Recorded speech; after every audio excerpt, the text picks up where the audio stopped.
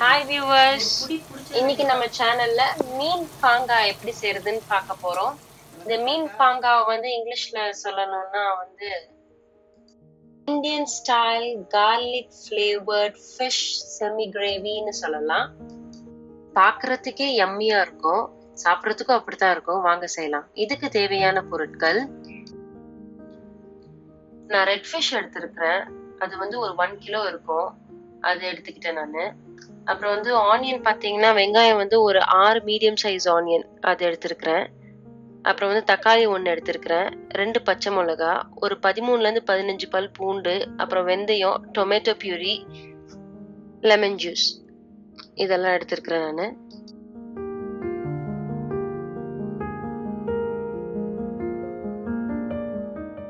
இப்போ நம்ம வந்து ஃபிஷ்ஷை மேரினேட் பண்ணிக்கலாம். அதுக்கு வந்து சால்ட் ஒரு ஹாஃப் டீஸ்பூன் வேணும். அப்புறம் வந்து டர்மரிக் பவுடர் வந்து ஒரு கால் டீஸ்பூன் எடுத்துக்கோங்க. சில்லி பவுடரும் ஒரு அரை டீஸ்பூன் எடுத்துக்கோங்க. பெப்ரிக்கா பவுடர் வந்து ஒரு ஒரு டீஸ்பூன் எடுத்துக்கோங்க. பெப்ரிக்கா பவுடர் கலருக்காக போடுறது. லெமன் ஜூஸ் வந்து வேணும்னா கொஞ்சோண்டு ஊற்றிக்கலாம் ஒரு ஹாஃப் டீஸ்பூன் ஊற்றிக்கலாம் தேவையில்லை ஆனால் வந்து ஊற்றிக்கலாம் நல்லா இருக்கும் அதனால வந்து ஒரு ஹாஃப் டீஸ்பூன் எடுத்துக்கோங்க. பெப்ரிக்கா பவுடர் இல்லைன்னா நீங்கள் காஷ்மீரி சில்லி பவுடர் கூட ஆட் பண்ணிக்கலாம். அது வந்து நல்லா கலர் கொடுக்கும். ஸோ வந்து வெங்காயத்தை நீங்க இந்த மாதிரி கட் பண்ணிக்கலாம்.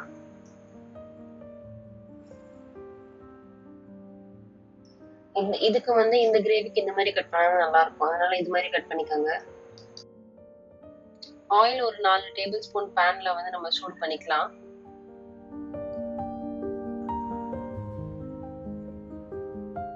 எண்ணெய் நல்லா சூடு வந்ததும் நம்ம வந்து ஒரு டீஸ்பூன் வெந்தயம் போட்டுக்கலாம். போட்டுட்டு கட் பண்ணி வச்ச ஒரு ப ரெண்டு வெங்காயத்தை மட்டும் ஃபர்ஸ்ட் போட்டுக்கலாம். போட்டுட்டு அதை நல்லா வதக்கிக்கலாம்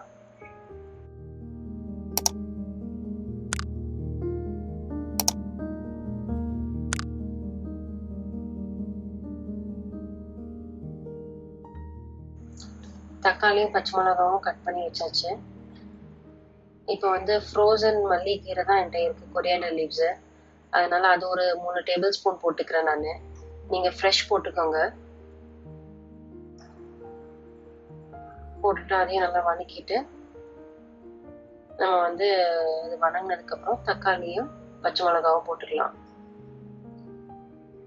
இப்போ வந்து சால்ட் டேஸ்ட்டுக்கு போட்டுக்கலாம் நம்ம. அப்பதான் நல்லா வணங்கும் அது சீக்கிரமா. மூடி வச்சிடலாம். தக்காளி வேகட்டும். தக்காளி வெந்தோடனே நம்ம வந்து ஒரு ஹாஃப் டீஸ்பூன் சில்லி பவுடர் ஒரு ஒரு டீஸ்பூன் பெப்ரிக்கா பவுடர் போட்டுக்கலாம். போட்டுட்டு நல்லா வதக்கி விட்டுக்கலாம். இதுல வந்து நான் வந்து ஒரு மூணு டீஸ்பூன் வந்து டொமேட்டோ பியூரி போட்டுக்கிறேன். இதோட கலர் ரொம்பவே நல்லா இருக்கும். அதே மாதிரி அந்த கிரேவினஸ் வரும். அதனால வந்து இதை நான் போட்டுட்டு இதில் வணக்கிக்கிறேன் நான். கொஞ்ச நேரம் சிம்ல மூடி வச்சிடலாம். அது வணங்கட்டும் நல்லா. அதுக்குள்ள நம்ம வந்து வெங்காயத்தை கட் பண்ணிக்கலாம்.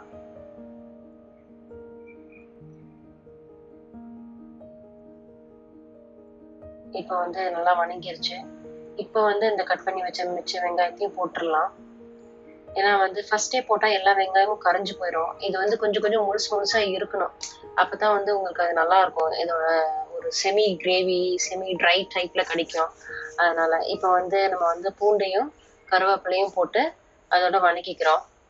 இந்த இதே வந்து மெயினே வந்து இந்த பூண்டு ஃப்ளேவர் தான். அதனால வந்து பூண்டு நல்லா நிறையவே போட்டுட்டு நல்லா இருக்கும். இப்போ நான் மூடி வச்சுக்கிறேன் கொஞ்ச நேரம். நல்லா வணங்கட்டும் எல்லாமே. பயங்கர வாசமா இருக்கு. பூண்டு தக்காளி கருவேப்பிலை எல்லாமே சேர்ந்து நல்லா பயங்கர வாசமா இருக்கு இதுல. இப்போ வந்து நான் வந்து இதுல க்ரஷ்டு பெப்பர் பிளாக் பெப்பர் வந்து ஒரு ரெண்டு டீஸ்பூன் போட்டுக்கிறேன். ஒயிட் பெப்பர் ஒரு டீஸ்பூன் போட்டுக்கிறேன். மஞ்சத்தூள் ஒரு கால் டீஸ்பூன் போட்டுக்கிறேன். சீரகத்தூள் ஒரு ரெண்டு டீஸ்பூன் போட்டுக்கிறேன். அப்புறம் மல்லித்தூள் ஒரு டீஸ்பூன் போட்டுக்கிறேன்.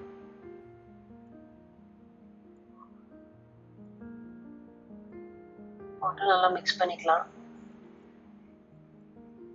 மசாலா போடும்போது எப்பயுமே கம்மியாக வச்சுக்கோங்க அடுப்பை.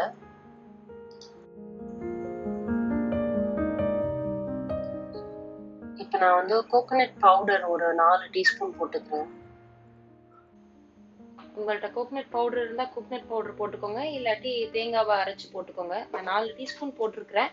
அதுக்கேற்ற மாதிரி நீங்கள் போட்டுக்கோங்க.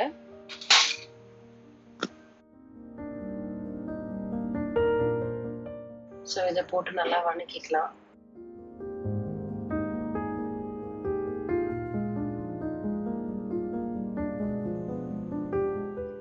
இப்போ வந்து நான் கொஞ்சம் தண்ணி ஊற்றிக்கிறேன் இதுக்கு. ஒரு கப்பு தண்ணி.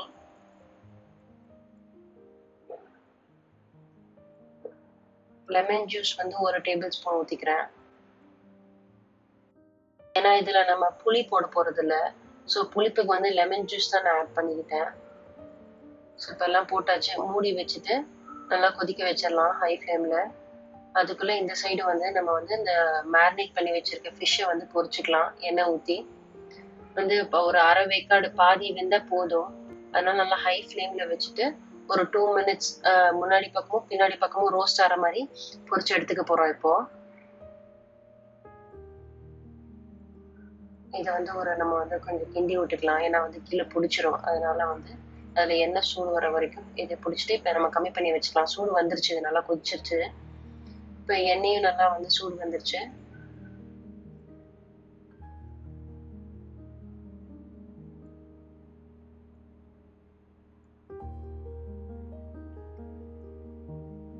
ஒரு டூ டு த்ரீ மினிட்ஸ் இந்த ரெண்டு சைடும் வந்து உங்களுக்கு அது ரோஸ்ட் ஆகிற மாதிரி நீங்கள் வந்து பிடிச்சிக்கோங்க பாதி வெந்தால் போதும். ஏன்னா நம்ம இதை பொறிச்சு அதில் போட போகிறோம்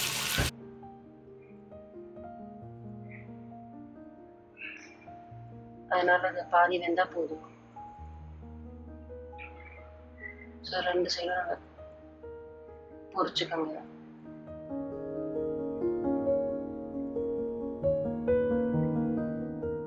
பார்த்தீங்கன்னா ஏன்னா நல்லா பிறண்டு மேலே வந்துருச்சு. ஸோ இப்போ வந்து இந்த மீனை நம்ம வந்து பொறிச்சு இதில் போட்டுடலாம்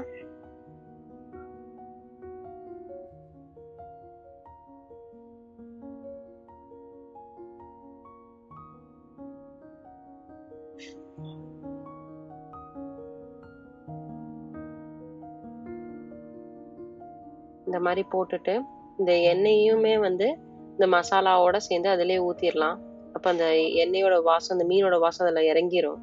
ஸோ ரொம்பவே நல்லா இருக்கும் வந்து இதை போட்டுட்டு நம்ம வந்து ஒரு டென் மினிட்ஸ் மூடி வச்சிட்டோம்னா அது நல்லா வெந்துடும் ஸோ இப்போ நம்ம வந்து மூடி வச்சுட்டு டென் மினிட்ஸ் கழித்து பார்க்கலாம்